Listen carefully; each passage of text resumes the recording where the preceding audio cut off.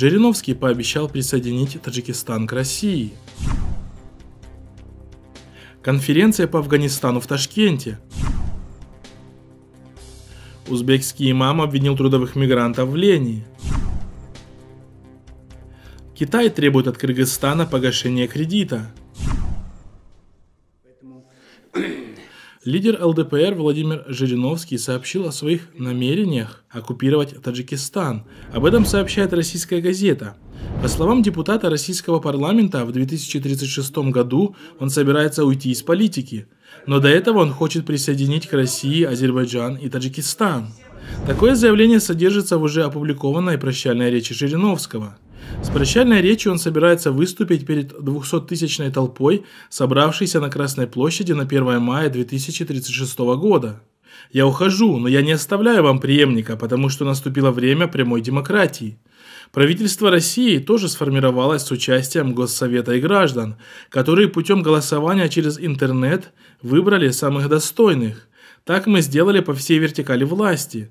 Не нужны ЦИК, УИКи, наблюдатели, члены комиссий, бюллетени, миллиарды денег были сэкономлены, сказано в прощальной речи Жириновского. Следует заметить, что данное заявление главного националиста-старожила российской политике, хотя и является лишь его очередной абсурдной эпатажной выходкой, но тем не менее достаточно точно отражает амбиции России по восстановлению колониального контроля над Таджикистаном, который с конца 19 века в течение более чем 100 лет уже находился в оккупации сначала царской России, а после Советского Союза. Эксперты отмечают, что данное оскорбительное в адрес народа Таджикистана заявление заявление осталось безответным со стороны таджикских чиновников, именно по той причине, что режим Арахмона является хранителем и проводником имперских интересов России. Российские военные базы в Таджикистане. Срок его действия обозначен до 2042 года.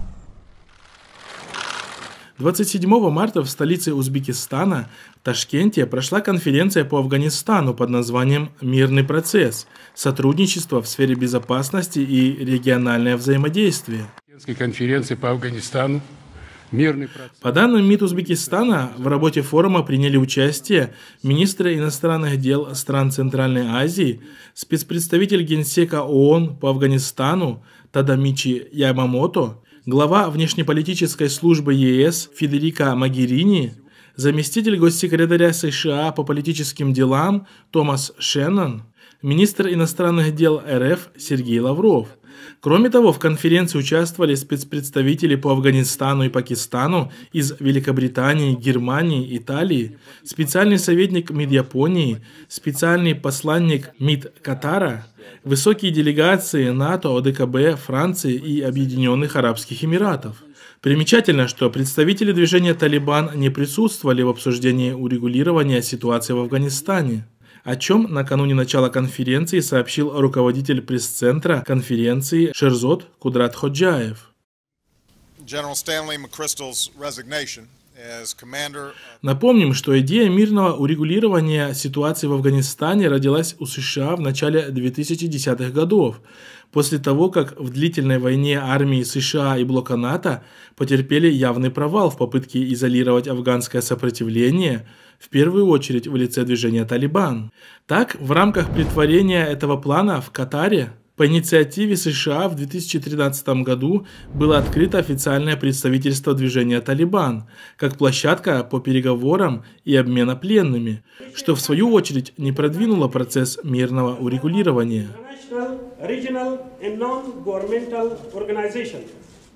Ранее в своем заявлении официальный представитель Талибана Забиулла Муджахид неоднократно заявлял, что движение не собирается вести какие-либо переговоры о мире, пока на территории страны присутствуют западные войска.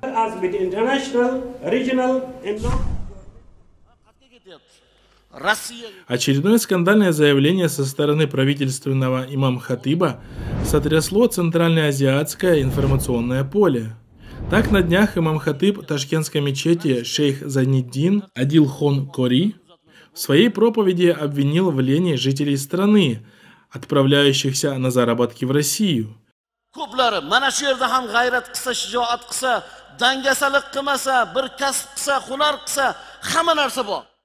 bechora borib rossiyaga borib birovi hojatxonasini tozalab birovi ichki kiyimini tozalab haligi joyda odamlar aroq ichadigan odamlarga aroq quyib yurib tirikchilik qilyaptida endi. Keladilar haligi yigitni guli kelyapti.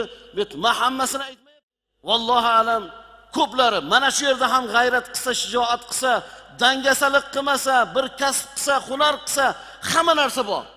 Напомним, Абитхон Кори уже не первый, кто поставил вину узбекским трудовым мигрантам тот факт, что они не смогли найти работу на родине.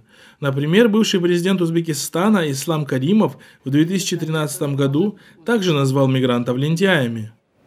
dangasalarni kimni hisoblayman moskvani borib ko'chalarni maydonlarni supuradiganlar Следует заметить, что по официальным данным средняя зарплата в Узбекистане по итогам 2017 года составила 127 долларов. Об этом сообщил 14 декабря 2017 года Мирзаев, представитель Государственного комитета по статистике на заседании Международного пресс-клуба.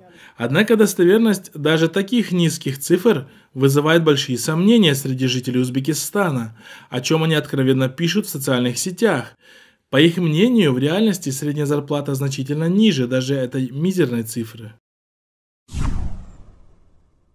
Посол Китая Сяо Цинхуа заявил, что у Бишкека нет иного выхода, кроме того, как погасить свои долги в ближайшей перспективе.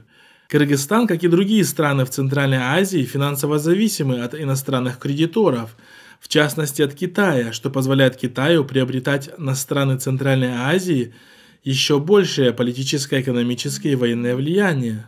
Примечательно, что страны Центральной Азии быстрыми темпами увеличивают задолженности и перед международными финансовыми оккупантами.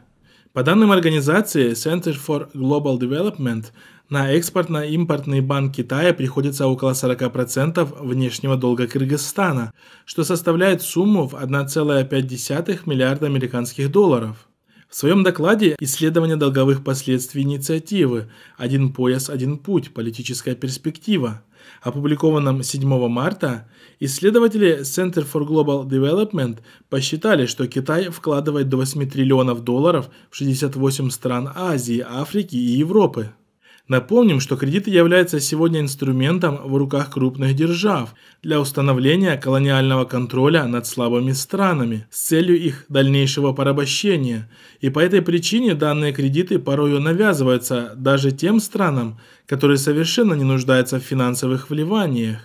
Отметим, что ростовщические операции являются для мусульман недопустимыми согласно законам ислама и считаются одним из самых больших грехов.